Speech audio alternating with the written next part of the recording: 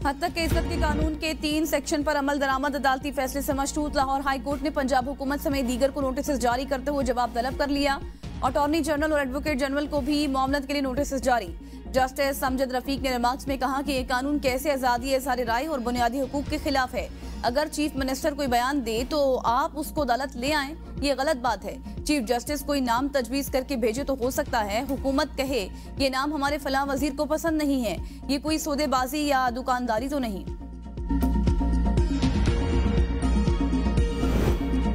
आलमी बैंक ने पाकिस्तान के लिए एक अरब डॉलर कर्ज की मंजूरी दे दी। कर्ज की मंजूरी दासू हाइड्रो पावर प्रोजेक्ट के लिए दी गई। आलमी बैंक के मुताबिक मंसूबे से बिजली की सप्लाई में बेहतरी और तोसी होगी। मंसूबे से आवाम को समाजी और माशी सहूलियात तक रसाई हासिल होगी।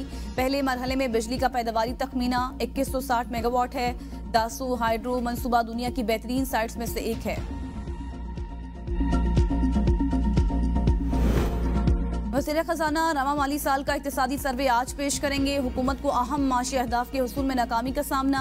सरमाकारी लाने का हदफ भी हासिल ना किया जा सका। इकतदी और सनती तरक्की, महँगाई, बिजली की पैदावार के हवाले से अहदाफ हासिल ना हो सके। शराय सूद बाईस फ़ीसद तक बढ़ाने के बावजूद महँगाई कम करने का हदफ हासिल ना हुआ। रवा माली साल के दौरान महँगाई इक्कीस फ़ीसद के हदफ के बरक्स, छब्बीस फ़ीसद रही सनती शोबे की पैदावार, तीन अशारिया चार फ़ीसद के बरक्स, एक अशारिया दो फ़ीसद रही मैन्युफैक्चरिंग सेक्टर की पैदावार, चार अशारिया तीन फ़ीसद हदफ के बरक्स, दो अशारिया चार फ़ीसद रही। जुलाई से अप्रैल के दौरान कपास की पैदावार का हदफ हासिल न हो सका। अशिया का दरामदी बिल अट्ठावन अरब डॉलर के बरक्स, पचपन अरब डॉलर तक महदूद रहने का तखमीना। जीडीपी का हजम, छत्तीस अरब सत्तर करोड़ इजाफे से तीन सौ चौहत्तर अरब नब्बे करोड़ डॉलर हो गया।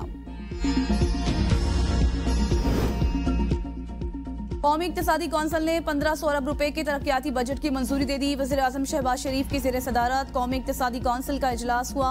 इजलास में सालाना प्लान बरए माली साल दो हज़ार तेईस चौबीस का जायजा लिया गया। कौंसिल ने इजलास से तेरहवें पाँच साल मनसूबे पर तफसीली गौर के बाद सालाना प्लान बरए दो हज़ार चौबीस, पच्चीस की मंजूरी दे दी। दस्तावेजात के मुताबिक आइंदा माली साल तीन अशारिया छः फ़ीसद, पाँच साल प्लान के तहत माली साल दो हज़ार उनतीस तक छः फ़ीसद ग्रोथ होगी। आइंदा पाँच साल में माशी तरक्की का हदफ औसतन पाँच अशारिया एक फ़ीसद रहने की मंजूरी। आइंदा माली साल के बजट में ज़रात की ग्रोथ का हदफ दो फ़ीसद रखने की मंजूरी दी गई। वज़ीर अजम शहबाज शरीफ ने विफाकी काबीना का अजलास आज तलब कर लिया। वज़ीर अजम अपने दौरा चीन पर काबीना अरकान को अहतमाद में लेंगे। अजलास में आइंदा माली साल के बजट के उमूर भी जेर गौर आएँगे। काबीना अजलास में इकतदी रबता कमेटी के फैसलों की तोसीक की जाएगी।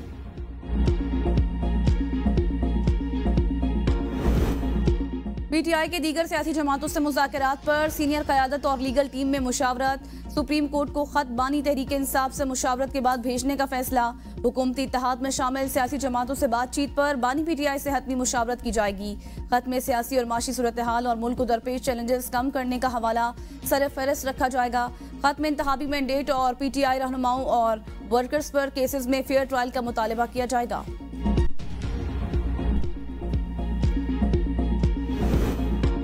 मोटरवे जलाओ, घेराओ और कार्य सरकार मुदाखलत केस में अली अमीन गंडापुर की बुरी जमानत में पाँच जुलाई तक तोसी। वजर अला खैबर पख्तूनख्वा आज भी रावलपिंडी की जिला अदालत में पेश न हुए। अदालत ने हाजी से ससना की दरख्वास्त मंजूर कर ली। अली अमीन गंडापुर के खिलाफ मुकदमा थाना नसीराबाद में दर्ज है। दौरान इदत निकाह केस में खावर मानिका ने अपनी कानूनी टीम तब्दील करने के हवाले से अदालत को आगाह कर दिया। इससे कबल राजा रिजवान अब्बासी शिकायत कुरिंदा खावर मानिका के वकील थे। खावर मानिका का कहना था, रिजवान अब्बासी ने मुआजरत की है, इसलिए मैं अपनी कानूनी टीम तब्दील करना चाहता हूँ। जज ने रिमार्क्स में कहा, अभी तक जल्द समात की दरख्वास्त आई है। अपीलों पर समात शुरू नहीं हुई। आपकी एक हफ़्ते की दरख्वास्त है, आप चले जाएँ। बाद में केस की आयदा तारीख पता कर लें।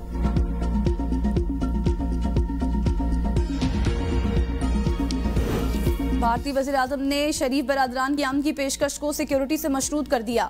मोदी ने कहा, हिंदुस्तान के लोग हमेशा अमन, सलामती और तरक्की पसंद ख्याल के साथ खड़े रहे हैं। अपने लोगों की सलामती और खुशहाली हमारी अवलिन तरजीह रहेगी।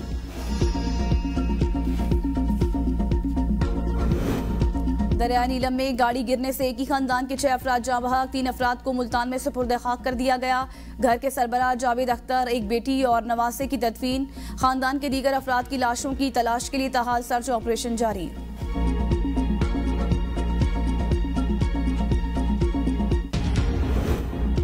शेखुपुरा ट्रैक्टर ट्रॉली और मोटरसाइकिल में तसादुम। दो खवतीन जामबहा खातून मोटरसाइकिल चला रही थी।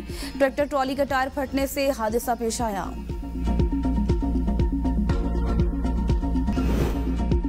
सूरज आग बरसाने लगा। पंजाब में हीट वेव का अलर्ट जारी। रवा हफ़्ते दर्जा हरारत 40 से 45 डिग्री तक रहने के इम्कान हैं। पंजाब के अजला बहावलपुर, रहीम यार खान, डेरा गाजी खान और मुल्तान में हीट वेव की लहर शदीद हो सकती है।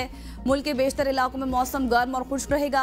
गिलगित बल्तिस्तान और बलाई खैबर पख्तुनहा में गरज चमक के साथ बारिश की पेश गोई। इस्लामाबाद और गिरदोनवा में मौसम गर्म और खुश्क रहने का इम्कान। मरी गलियात और गिरदोनवा में मतला जुजवी अबर आलूद रहेगा। सिंध के जनूबी अजला में तेज और गर्द आलूद हवाएँ चलने का इम्कान।